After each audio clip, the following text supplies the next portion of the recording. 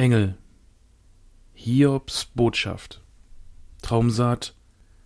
Jubiläumsausgabe. Dritte überarbeitete Neuauflage 2004 geschrieben von Severin Rast und Oliver Hoffmann. Erschienen bei Feder und Schwert. Gelesen von Mayo und Koali. Kapitel 8 Ist nicht Kriegsdienst des Menschen Leben auf der Erde? Hiob Kapitel 7 Vers 1 Der Ketzer mit dem wilden Haarschopf kippte platschend in die Blutlache zu seinen Füßen. Wer so viel Blut verloren hat, braucht seine Waffe nicht mehr, dachte Einhard grimmig und ließ die erbeutete Stielaxt ein paar Mal prüfend durch die Luft sausen. Es war eine gute, solide Waffe, auch wenn sie für seinen Geschmack etwas zu kopflastig war. Er wusste nicht, wer oder was den Mann getötet hatte, aber er konnte die über zwei Meter lange Waffe gut gebrauchen nachdem er seine Hasta auf der Straße hatte zurücklassen müssen. Seht nach, ob die anderen Toten auch noch ein paar brauchbare Waffen haben, rief er den angelitischen Söldnern zu, die hinter ihm in den kleinen Innenhof drängten. Er trat an eine der im ganzen Hof verstreuten Transportkisten heran und stellte fest, dass sie leer war. Plünderer. Nicht wirklich überraschend. Erschöpft drehte er die Holzkiste um und ließ sich darauf nieder. Seit sie heute Morgen im Hafen von Tours gelangt waren, war es das erste Mal, dass Einhard sich für einen Augenblick ausruhte. Langsam wurde ihm bewusst, wie ihm das Regenwasser unter der schweren Rüstung den Rücken hinunterlief. Er war vollkommen durchnässt und die heiße, schwüle Luft machte jeden Atemzug schier unerträglich. Aber er durfte sich davon jetzt nicht überwältigen lassen. Mit einem Ruck erhob er sich wieder und sah zu den Söldnern hinüber. Die jungen Männer und Frauen durchsuchten widerwillig die im Hof verstreuten Ketzerleichen. Sie waren allesamt jünger als er, und auch wenn es seine erste Schlacht als Elektus der Gabrieliten war, fühlte er sich für sie verantwortlich. Immerhin war er der Einzige hier, der eine richtige Kampfausbildung hatte. Vorsichtig trat Einhard an das Hoftor und später auf die regennasse Straße hinaus. Außer einem toten Söldner, dessen zerfetztes Gesicht reglos in den grauen Frühsommerhimmel starrte, konnte er niemanden sehen. Er meinte sich zu erinnern, dass der Junge Batz hieß, aber er war sich nicht sicher. Von der Torburg wehten Waffenklirren und Schmerzensschreie herüber, in die sich jetzt ein langgezogenes, unnatürlich schrilles Heulen mischte. Sie mussten einen Weg finden, zur Schlacht zurückzukehren, ohne die Straße zu passieren, sonst würden die Heckenschützen der Ketzer sie einem nach dem anderen Batz Schicksal teilen lassen, sobald sie aus dem Hof traten. Einhard wandte sich zu den Söldnern um, die mit ängstlichen und erwartungsvollen Blicken hinter ihm standen, und korrigierte sich in Gedanken. Er musste einen Weg finden. Wir können nicht auf die Straße zurück, sagte er und bemühte sich, seiner Stimme einen festen und sicheren Klang zu geben. Die nördliche Mauer des Innenhofes ist nicht sehr hoch, wir werden also versuchen, über sie in den nächsten Hof zu gelangen und von dort aus weiter zur Torbastion vorzudringen. Einhard warf noch einen letzten, abschätzenden Blick auf die Straße hinaus, dann schloss er leise das Hoftor und legte von innen den schweren Holzriegel vor. Die erwartungsvollen Blicke seiner Leute brannten in seinem Rücken. Er konnte sich noch gut erinnern, wie stolz er am Vorabend der Schlacht gewesen war, als Magistra Elin ihm das Kommando über die Söldner übertragen hatte. Das Wichtigste, was ein zukünftiger Kompteur zu lernen hat, ist Verantwortung für seine Rotte zu übernehmen, hatte sie gesagt. Und du hast jetzt das Kommando über diese zehn Söldner. Führe sie in die Schlacht und sorge dafür, dass sie alle lebend zurückkehren. Und sollte dir das nicht gelingen, wird sie auch niemand vermissen, dachte Einhard im Stillen. Erlin hatte es nicht ausgesprochen, aber als die Kugel Barts Gesicht zerschmettert hatte, war es fast so gewesen, als hätte Einhard auf einmal die brüske Stimme der Magistra in seinem Kopf gehört. Stellt euch vor, jede Schlacht ist nur eine weitere Übung auf eurem Weg zur Vollkommenheit, hatte sie einmal gesagt. Aber jetzt kam ihm das alles ganz und gar nicht mehr wie eine Übung vor. Aus dem stolzen, ehrgeizigen Templer, für den er sich bisher gehalten hatte, war wieder ein besorgter großer Bruder geworden, und er ertappte sich zum ersten Mal seit Monaten bei dem bangen Gedanken an seine Familie zu Hause. Schweigend führte er seinen kleinen Trupp an die niedrige Mauer an der Nordseite des Innenhofes.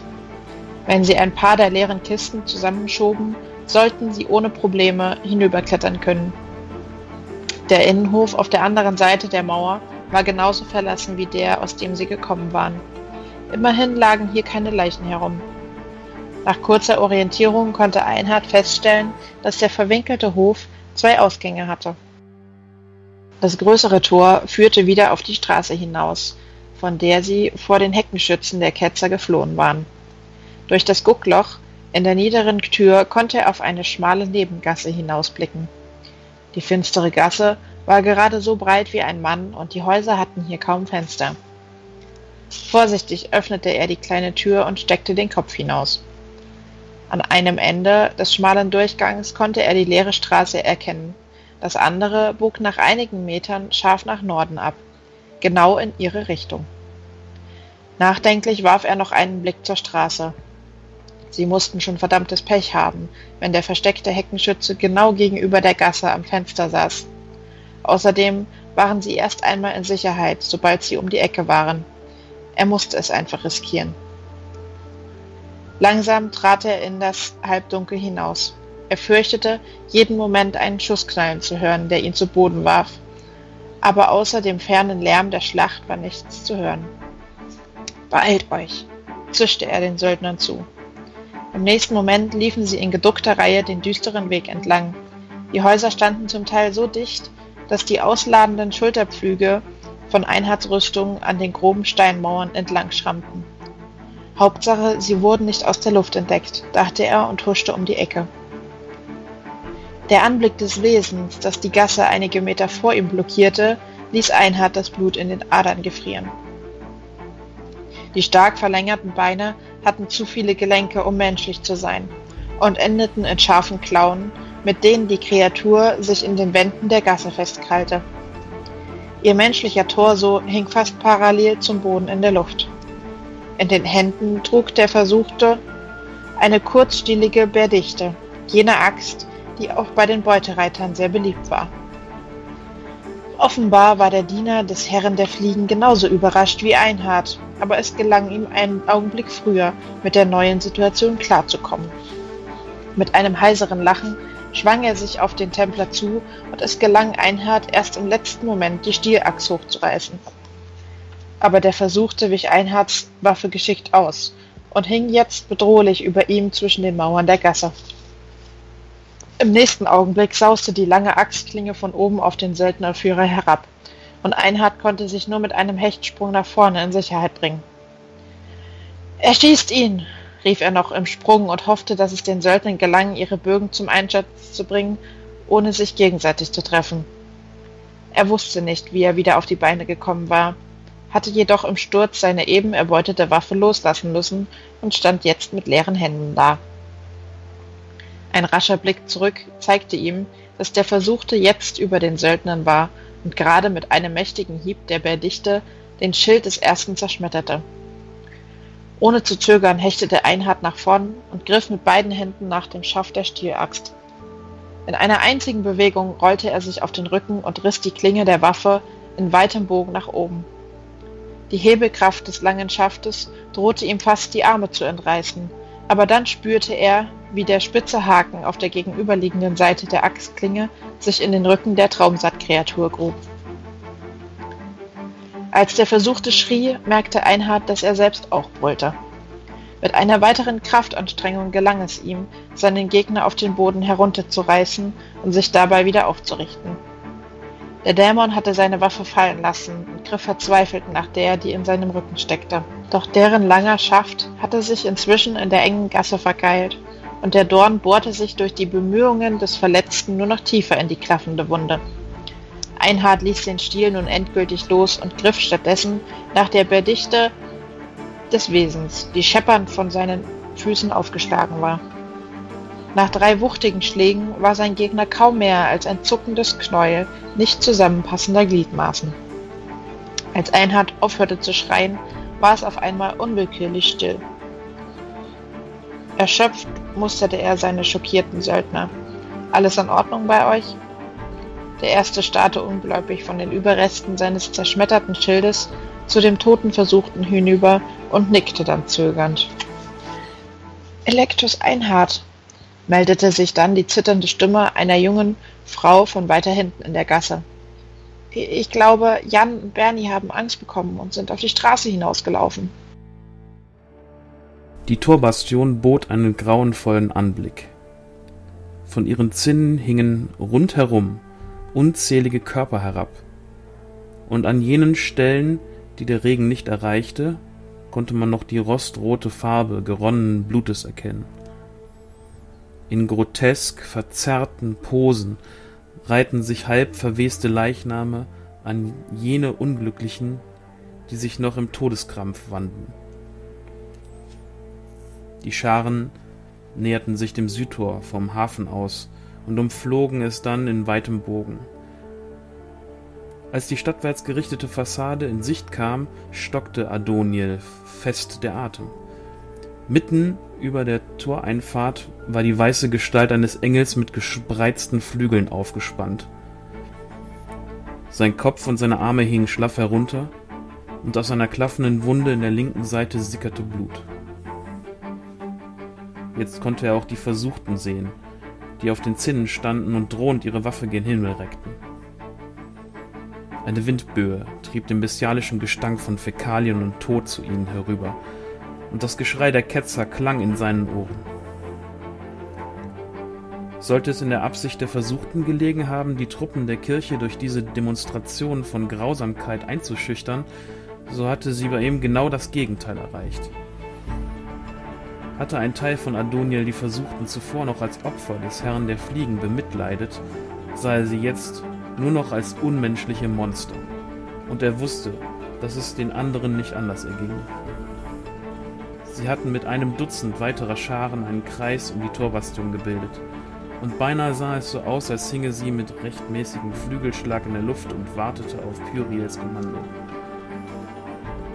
Eine Ewigkeit schien zu vergehen, bis endlich Ariels beherrschte Stimme in seinem Kopf erklang. Es ist soweit.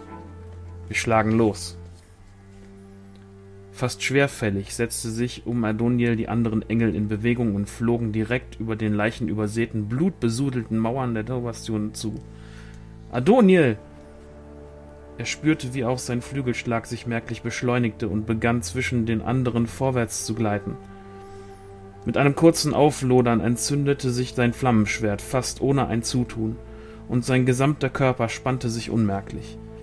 Es kam mir vor, als beobachtete er sich selbst tief aus seinem Inneren heraus. Jetzt bin ich soweit, dachte er noch, bevor er die Kontrolle ganz seinen Instinkten überließ.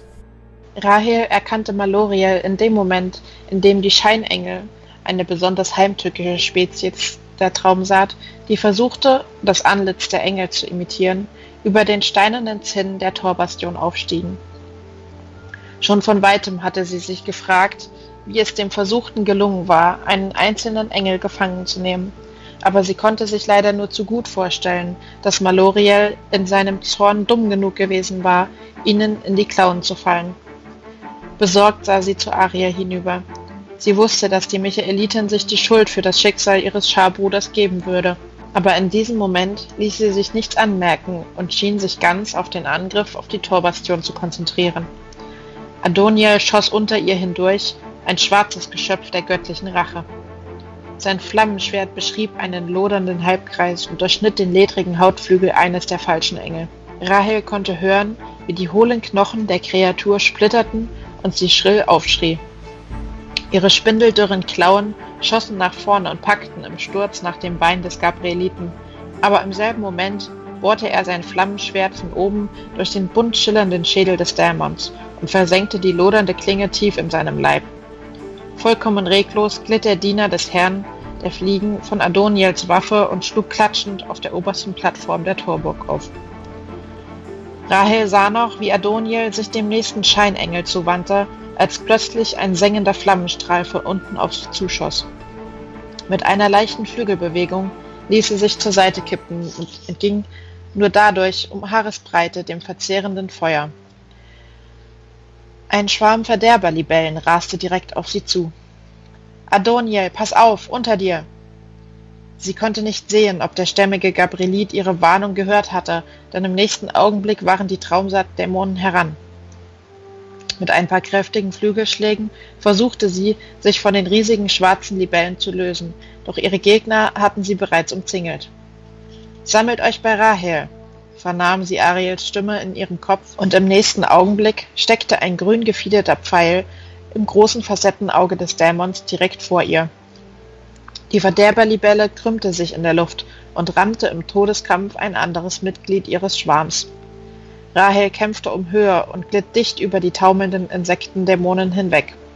Vor ihr tauchte plötzlich Daniel auf, einen weiteren Pfeil auf der Sehne. Für einen Moment hatten sie Blickkontakt und sie sah, wie der Urelit fast unmerklich mit dem Kopf nach links unten deutete. Sofort legte sie ihre Flügel dicht an den Körper und sackte in die angegebene Richtung ab. Daniels Pfeil schnellte über sie hinweg und sie hörte den krächzenden Todesschrei einer weiteren Libelle hinter sich. Jetzt waren auch Ariel und Adoniel bei ihnen und stürzten sich auf die übrigen Angreifer. Rahel, flieg zur Mauer hinüber und kümmere dich um Maloriel. Daniel, gib ihr Deckung. Ohne ein weiteres Wort drehten die beiden Engel ab und flogen zur Mauer der erbittert umkämpften Torbastion hinab.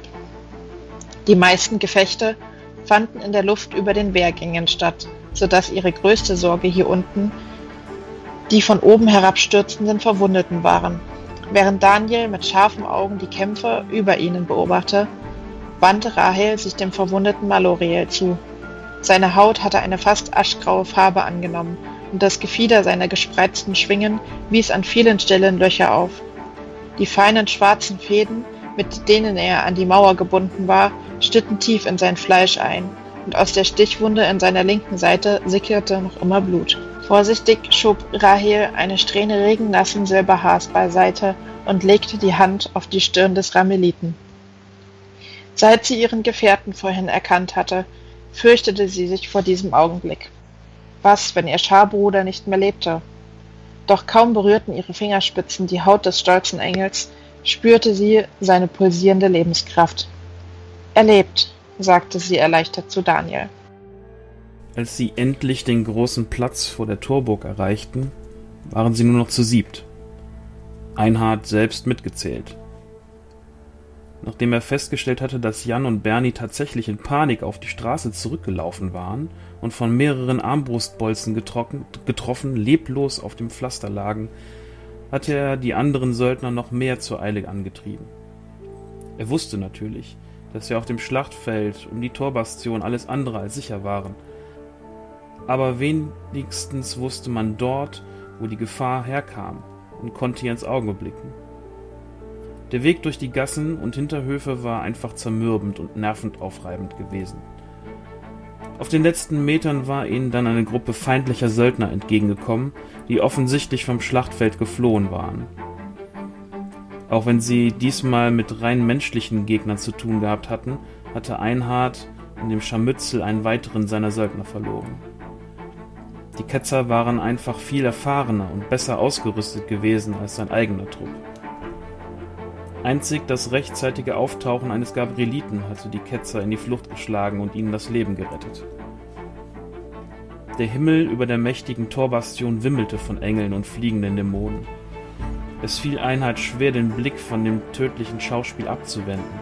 Aber es war nicht nur die atemberaubende Schönheit der charismatischen Streiter des Herrn, die ihm in den Bann schlug, auch die groteske Vielfalt der Traumsaat übte eine Faszination aus, der er sich nicht entziehen konnte. Er sah, dass der Anblick der Schar den Söldnern noch mehr den Atem verschlug als ihm selbst, und er konnte es ihnen nicht verdenken. Aber der Kampf in der Luft war nicht ihre Sache, und am Boden konnten die Truppen der angelitischen Kirche bei ihrem Ansturm auf die Torburg jede Hilfe gebrauchen. Seht ihr die Perversen dort?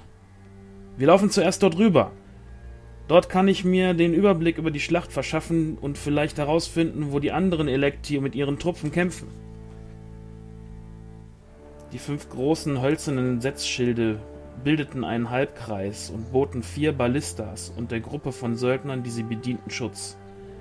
Unermüdlich feuerten sie einen der über einen Meter langen Bolzen nach dem anderen gegen den Wehrsturm, der heiß umkämpften Torbastion. Der beißende Gestank von Rauch und Verwesung hing in der Luft, und Einhard sah, dass die Söldner allesamt feuchte Tücher vor Mund und Nase gebunden hatten.